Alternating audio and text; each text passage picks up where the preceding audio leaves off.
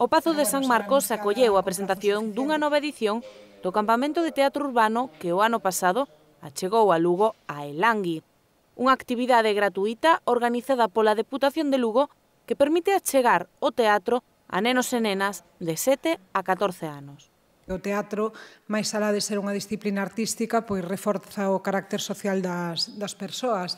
Pérdese a vergoña, aprendese a improvisar, eh, a relacionarse cos demais, a traballar en equipo e isto tamén nos parece fundamental. Ademais, todo isto realizarase ao aire libre, sempre que o tempo permita, son actividades de rúa. Arredor de 100 mozos e mozas poderán participar nesta actividade repartidos en catro quendas. Os dous primeiros grupos terán lugar do 30 de xullo o 14 de agosto en horario de mañá ou de tarde en función da preferencia. Os dous grupos restantes participarán do 16 ao 31 de agosto nos mesmos horarios. Pero o prato forte será... Unha masterclass a cargo da actriz Marta Larralde, que tivo o último papel destacado, máis alá do seu amplísimo currículum na serie, na serie Fariña.